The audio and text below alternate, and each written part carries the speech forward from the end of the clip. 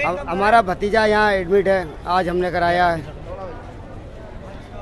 क्या हुआ था अभी यहाँ पे जब एडमिट थे उसके बाद क्या हुआ? इसके बाद में हम खून जाँच के लिए ले गए तो अब भागीरथ आयुष्मान वाला हमने कार्ड दिखाया तो हमसे कहा गया कि मोदी जी के पास जाओ वही आपका इलाज करेंगे वही पैसा देंगे हम तो पै- हमें पैसे दो तो हम आपका खून की जाँच करेंगे। किसने कहा?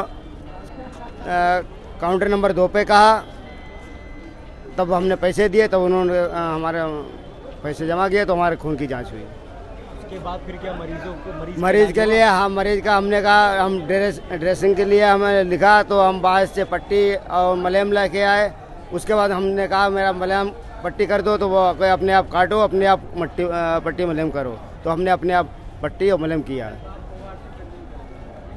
है एक गाँव है महाउदूर वहाँ के एक गरीब मरीज़ उसके बिजली करंट लग गया था, यहाँ भर्ती था, यहाँ इन्होंने मुझे फ़ोन किया। उनका एक बहुत ही महत्वपूर्ण माननीय प्रधानमंत्री जी ने योजना चलाई, आयुष्मान, जिससे पाँच लाख तक का गरीबों का इलाज हो सके, लेकिन यहाँ पर कार्ड लेके आए। इन्होंने, डॉक्टरों ने यहाँ पर मना कर दिया कि जाइए, अभी आपके सामने जाइए, यहाँ इलाज नहीं होगा, इसको मोदी जी से इलाज कराइए। इन्होंने मुझे फ़ोन किया तो मैं अस्पताल में आया।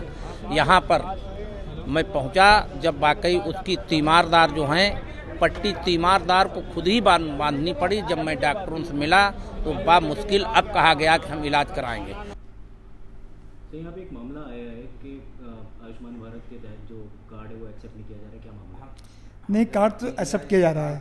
कार्ड एक्सेप्ट करने का तरीका ये है कि कोई भी कार्ड होता है उसको पहले पंजीकरण कराया जाता है। उसका पंजीकरण हमारे यहाँ सुबह दस बजे लेकर शाम को चार बजे तक काउंटर बना हुआ है वहाँ होता है। क्योंकि अब विलंब हो गया, इसलिए पंजीकरण नहीं हो पा रहा है। कल उनको बता दिया गया कि कहाँ पे जाके सुबह पंजीकरण हो जाएगा। उसके बाद सभी जाँच, दवा सब इलाज पूरा टोटल फ्री होगा। तब तक के लिए जो हमारे पास अलग से एक रास्ता होता है कि जो एमरजेंसी मर जाते हैं, उनका कोई करीब है, ऐसा कोई है, उसका फ्री किया जाए, उसका मैंने फ्री करने का कह दिया है।